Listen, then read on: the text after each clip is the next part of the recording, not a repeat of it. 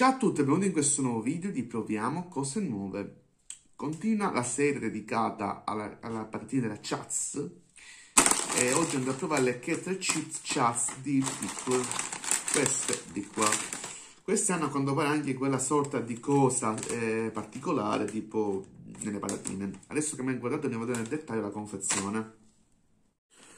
Ok, eccomi qui con le Chats che the chips di pickle, no preservatives, non test and chars, uh, bean drop tops, gluten free e vegan. Quindi questa è una cosa vegana in teoria.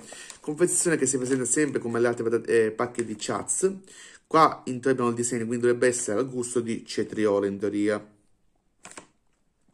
A parte che diciamo tutta la busta nera e qua c'è il disegno delle patatine, qua abbiamo il sotto eh, tendente qui però al verde lime.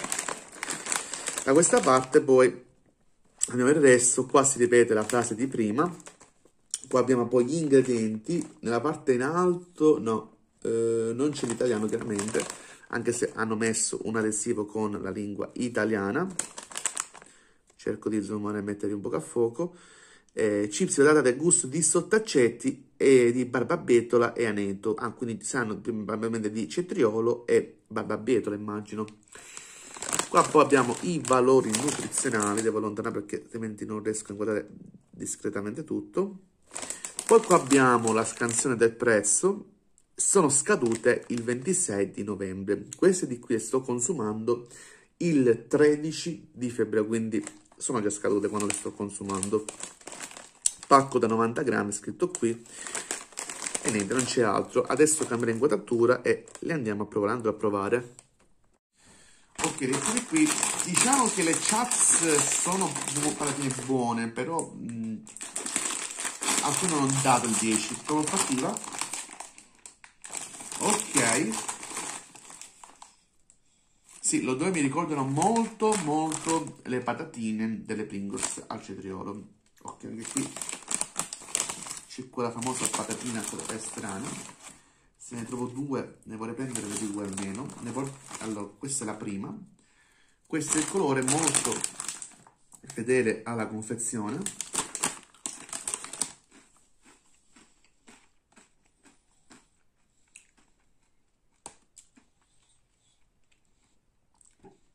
Non so dirvi, ma questa palatina, che dovrebbe essere una palatina colorata, sa prontamente di eh, sì, di barbabietola, ma anche di patatina bruciata quasi.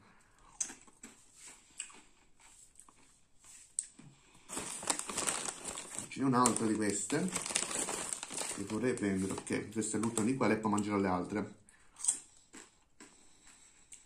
Sì. Come dico, la nota bruciata però pecca, pecca abbastanza. Vediamo adesso quelle normali.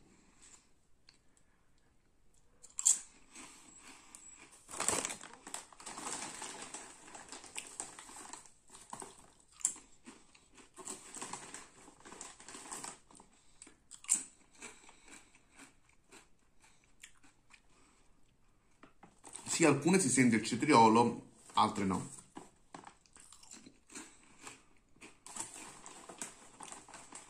Non sono molto integre, quindi sono, diciamo, tutte in buona parte ne ho preso un mucchietto ora.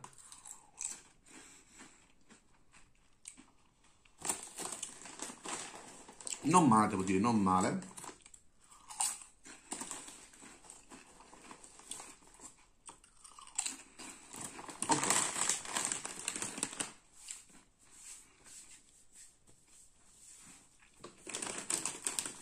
A queste che tre chips di piccolo, il mio voto finale è un 9 su 10.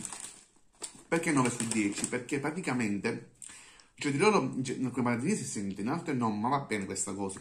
Sono ottime, quindi sono buone le patatine, però quelle che sono, diciamo, ovviamente essere più scure, che sono più che altro di barbabietola, allora, la barbabietola si sente, va bene, però sembrano essere un poco bruciacchiate quindi questa cosa, secondo me, è negativa.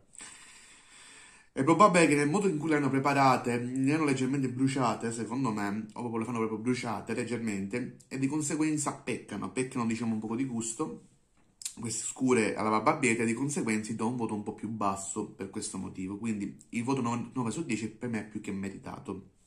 Questi di qua li ho presi online, quindi questi in qualche negozio straniero ce li hanno, oppure eh, se nel vostro comune magari c'è qualche negozio città, c'è qualche negozio americano, vedete se ce l'hanno e le provate. Non sono male, ripeto, provarle.